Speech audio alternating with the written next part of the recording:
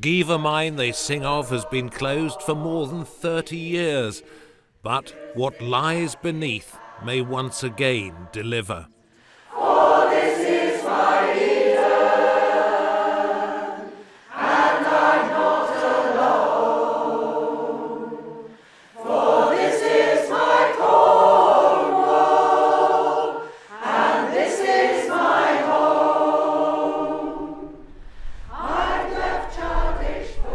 We're right at the end of England, very close to Land's End, and we're getting ready to go into one of the oldest mines. It's marked on a map from Tudor times, and it's inside that hill, Wheal Herman.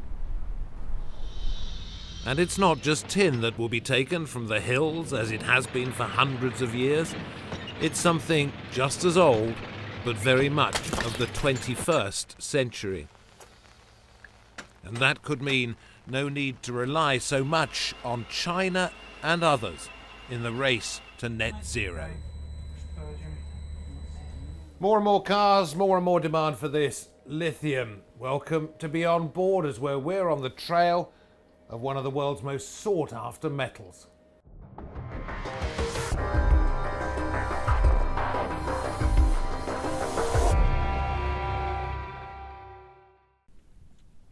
We're here to see whether what has shaped this Celtic county's past will determine its future. And we start not with lithium, but in a country lane, with homeowners worried at the possible reopening of what was once described as probably the richest tin mine ever. We're at an overflow from a flooded and closed mine shaft. This is what it's like after 150 years since the mining left. So it's one hell of a legacy. It stays there a very long time unless you do something about it. They point to an Environment Agency report which states that the Porthleven stream which runs through these fields has what's called poor ecological status and fails various assessments because of high levels of arsenic, cadmium, nickel, and mercury, some of which are said to be cancer causing. The water courses have changed here, and now you can see this water that's coming out of here, which is contaminated with heavy metals, particularly the, the cadmium and the uh, nickel that flows down into the stream and down into the harbour eventually. And that's what you're worried about, something like this happening again? Yeah, we're worried that what, what we're really worried about is that there's a more disturbance that's going to happen in this area which is recovering, and that that disturbance is going to create more centuries of polluted riverways and streams here, yeah. not just here but all over Cornwall. And they believe that Cornish tin have been drilling exploratory boreholes close to, and in some cases, under their homes. Cornish Tin didn't respond to our request for an interview, but states that the 26 mines that make up the Wheal Vor group, and which closed 150 years ago, could still feature in the world's top three for tin. Its website says it has rights also to copper, lithium, tungsten, and geothermal energy. As for new mining, it's when, says Cornish Tin, not if. We've asked them repeatedly for detailed information about what they're going to do, and they, they fail to come up with it. They fail to produce it. Isn't the issue that they don't know yet? They're just prospecting. That's, I think that it probably is the case. We don't know where they're at. Despite their uh, proclamations of transparency, they haven't given us much detail about what they're actually doing. So if they told you something that was clear and concise and satisfied you, you wouldn't be worried about it? I'd be very worried about it. Just because the legacy of these things lasts so much longer than the companies that start them. You wanted to say? I, I was going to. I was going to say they are a professional mining company. So eh, you know, if they say, "Oh, well, we're only prospecting at the moment," all right, they they have a track record in mining. They they know what's going to happen. It's not a question of of, of their, their guessing. A 20-minute drive away is South Crofty, where there had been tin mining since the 1500s. It was the only remaining Cornish tin mine when it closed in 1998 because of falling tin prices. Another company, Cornish Metals, says it's planning to reopen in 2026 with the creation of 250 to 300 jobs. If it was to be viable again, I think the Cornish people would be quite, quite, quite amenable to it. Obviously, all mining now would have environmental constraints, and so it wouldn't be any detrimental effect to any houses or ground or stability or anything like that. And the environmental pollution would obviously be controlled. Um, and you say obviously controlled, you say there wouldn't be any environmental concerns, but some people are worried about that some people are worried about it, and rightfully so. I think a lot of people, because mining has got an inherently sort of, um, how can I say it? It's, it's perceived as being a very messy business. Um, because you're taking stuff out of the ground basically, but with environmental constraints that have been brought in, they are very now tightly controlled. And to all intents and purposes, lots of mines now that open up have got to pretty much have a, like a 20 year plan for how they're going to mine, where they're going to mine, and they've literally got to lay everything out in a plan before they even get to go down into the ground, basically. We needed to see how tough it had been working in Cornwall's oldest industry, and we went underground. This is only the start. Okay, here we go. Climbing through here, he's done it a thousand times. It's not so easy for me.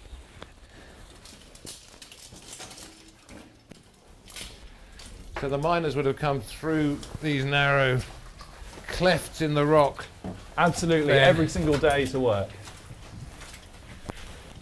This was the entrance to the mine. How deep is that mine shaft, Ben? About 20 metres beneath me. I'm now clipped onto this rope because we're getting to the very dangerous part of the mine here.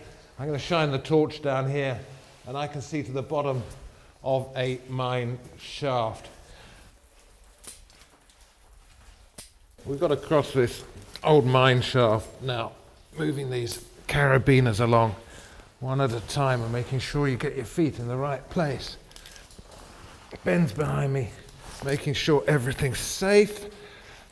And it's one foot here and then up and onto that, leaning this way. Okay, got to be very careful with these, one at a time. Check it. Second one across here, move along, leaning forward, feet back my word, you don't want to go down there. The extraordinary thing is, we've got this going all the way up there, all the way down there. Here's one ladder, but they would have had to get up and down on countless other ladders, going all the way up and then down into the depths. Take it easy, David, take it easy. One foot onto there. There we go.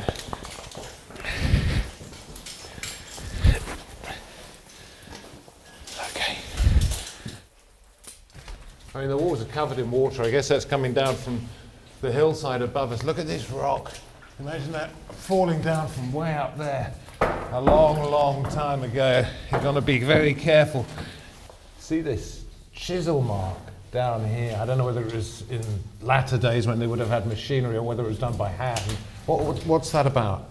So this was almost certainly done by hand. This is what's known as a shot hole. It would have been filled with gunpowder, an explosion would have been set off. It would have forced a big slab of rock away from the wall, and that's actually how the later and you can is. see all of that. Is this the blast? Almost certainly, almost certainly. Big slab of rock coming off here, weighing several hundred kilos. It's a lot easier than hand And they would have checked that for the tin and then still been able to move on further down the mine. That's certainly one case. Uh, it, otherwise, it would have just been to make the tunnel wider and easier to get into. How extraordinary. Imagine the noise. It would have been. Do you know what? If you think we're adventurous, they must have been true adrenaline junkies to turn up to work on a Monday morning. Okay, let's go.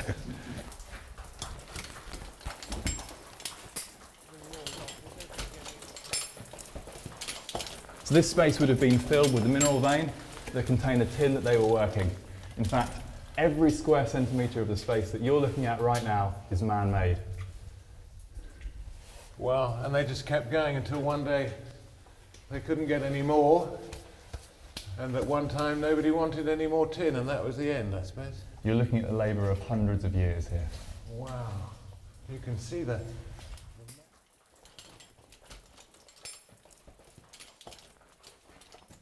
This is as far as we can go, and we've found tin. This is the mineral vein which would have contained the tin itself. That's that dark rock over there, and I've actually got a piece of it here for you, David. It's tiny, isn't it? But it's it's heavy. That's full of metal. Worth something.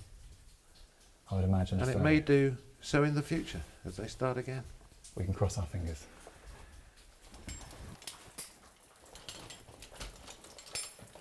At Cornwall Mine Consultants, they investigate the dangers that Cornwall's old mines pose in the present day. These are the records of collapses that we've got on our files from the last 30 years or so.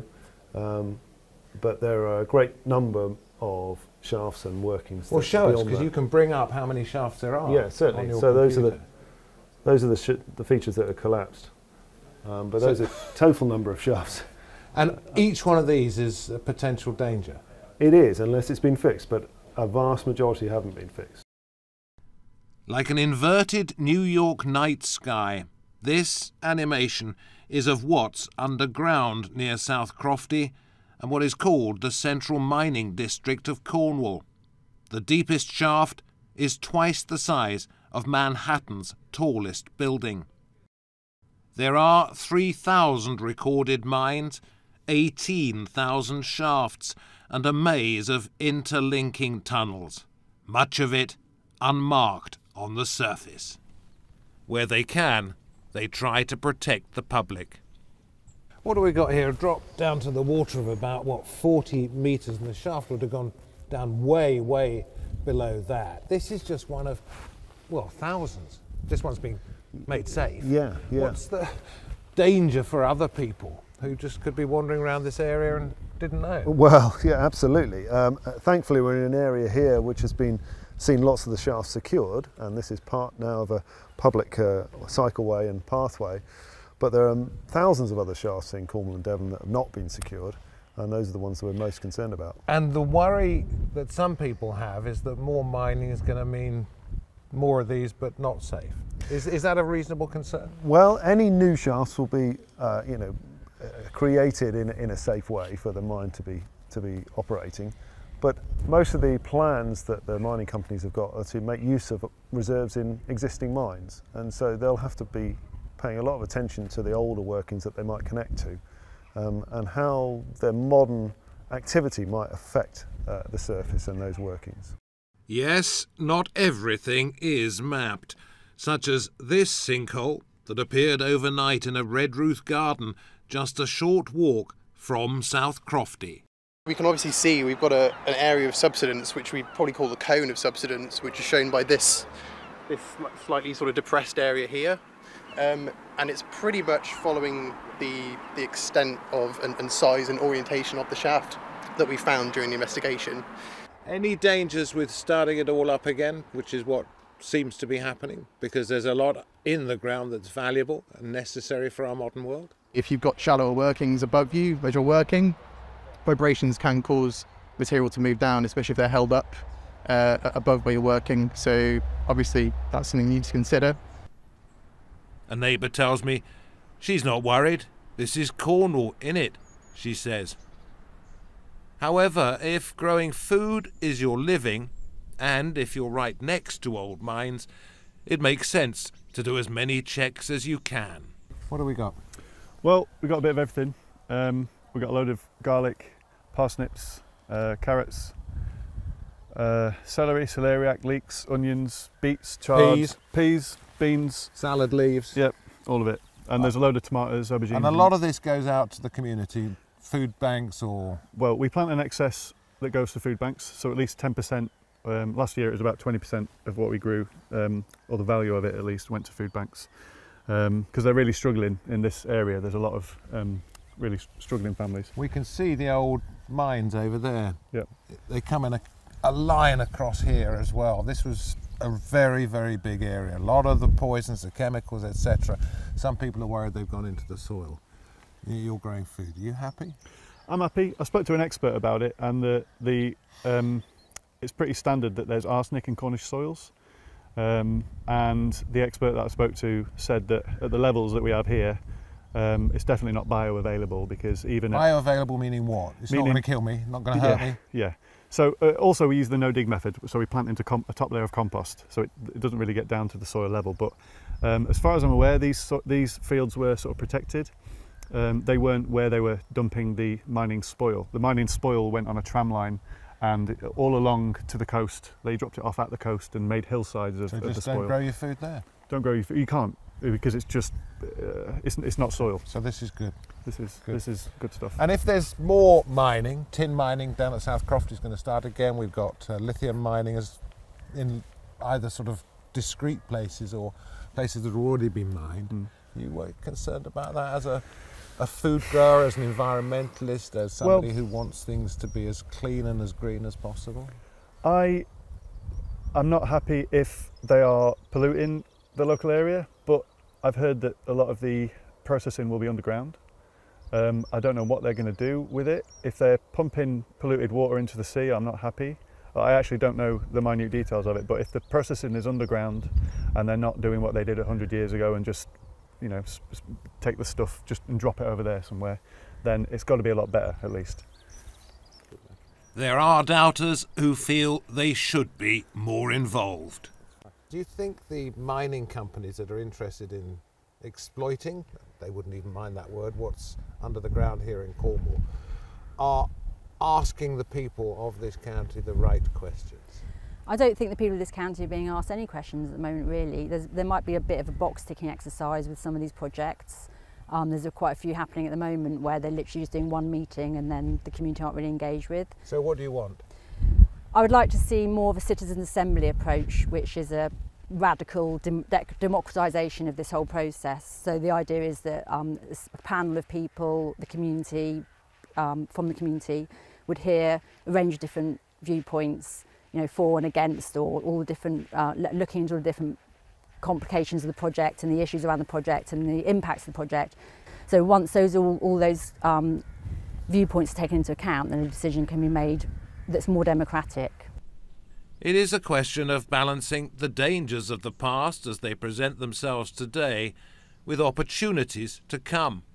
The way that the lithium will be extracted and processed in this area is probably the most sustainable and environmentally friendly you will find anywhere in the world. I know many people are concerned when they see some of the images from around the world, but here we're going to be extracting it from previously mined land. We're not digging up new bits of countryside. What is the hope? Well, the hope is that uh, the potential for developing mineral, mineral extraction, lithium extraction in this area, uh, can revive the heritage we have of uh, extracting minerals from this part of Cornwall for literally hundreds of years, and you know, breathe some new life into that sector and recreate some jobs, uh, the jobs of the future for, for people locally. And maybe those opportunities are to be found here in the closed Trelavour clay pit further north near St Austell.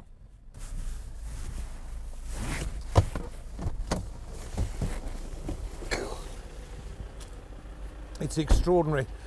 What we've got here at one time would have been teeming with lorries going up and down the banks, put all the china clay out. There would have been an engine on the side there taking the old spoils to the top, making another tip. And now, to all intents and purposes, this was an abandoned mine.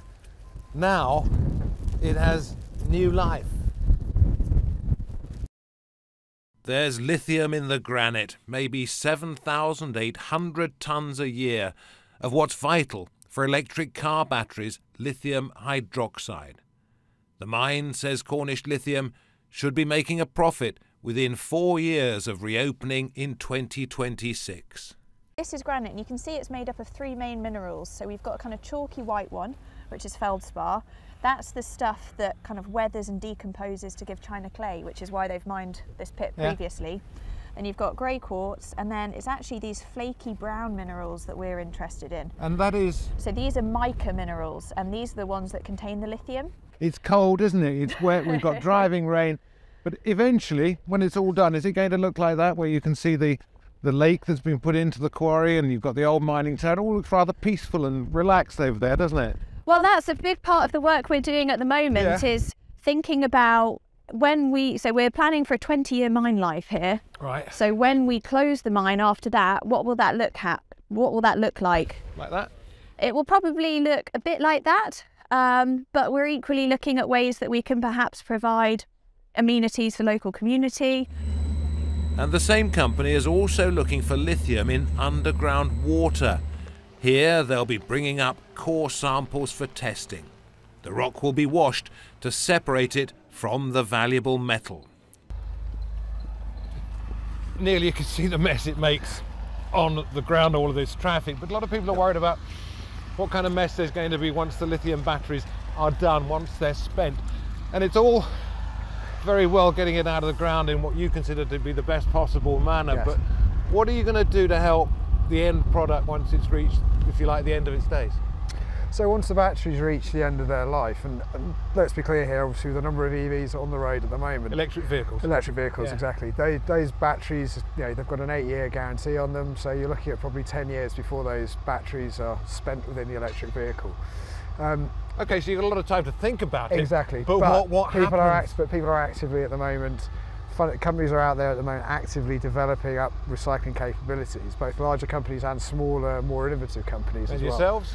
And ourselves, we're actually working on a project um, to see if some of the technology that we're using on the geothermal water side could actually be applicable to recycling what they call the black mass. So that's the battery when they actually shred the battery up. And you then need to actually extract the metals that are within the battery from that. So it's whether we could use some of the technology we're using on the direct lithium extraction side To to, recycle it recycle and use the lithium extract- again? Exactly. Wishful thinking? See, we don't believe so because ultimately, like I say, there's a regulatory imperative and ultimately there's an environmental imperative to make sure that we find a suitable solution for recycling these batteries once they reach the end of life. So ultimately, like I say, we have to find a solution for this. And commercially sensible as well, if you can do Absolutely. something out of it. Yeah, If you think, like I say, the number of batteries that are now going to be out there with, like I say, this explosion of electric vehicles, it gives an absolute commercial imperative to make sure a solution is found. Commercial for you because you might make some money out of it. You never know. no worries. In the laboratory, they're checking that all is going as it should do. This is it. There's only a few grams of lithium carbonate in there. It'll be turned into something else, but it'll eventually end up in a battery. How vital is this to the world in which we live today? Absolutely critical if we're going to electrify. So when you look at um, the electrical vehicle revolution, the large car manufacturers are tooling up for the lithium ion battery. That is what is being used. If you look at your iPhone or other electronic device, your tablet, your laptop, it's all lithium ion batteries. There's only a few grams here. How much more than this would you need to make one battery? A lot more. We'll need kilos of it. So tons of it.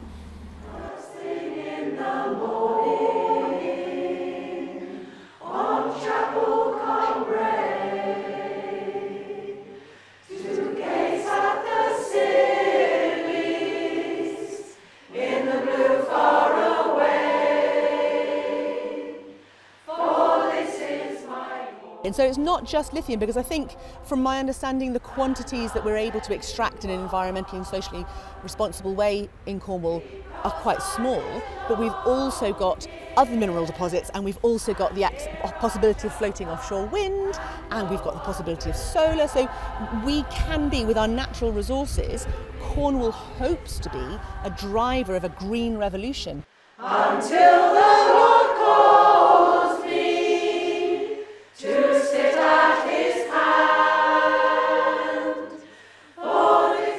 The suitcase singers are practicing nearby. Harry Glasson's words and music praising wild weather, the thunder of the waves, and the songs of the miners in days gone by. and this is my home. There is another Cornish tale from a band called The Countrymen, and this one doesn't dwell on the past, because after the closures, after the job losses, they sing of the wealth still to be found beneath their feet, and of what Cornwall is famous for its miners. They cut Crofty's cable. Maybe once again, they are its future. But there's lithium down there, and it's worth a fortune. If all goes to plan, we'll be mining again. And they're older than Christ and deeper than hell. But the new mines of Cornwall will soon produce ore. We'll shoulder our tools and go into the mine shaft. We'll bring out the tin like our fathers before. And again show the world what a Cornish man's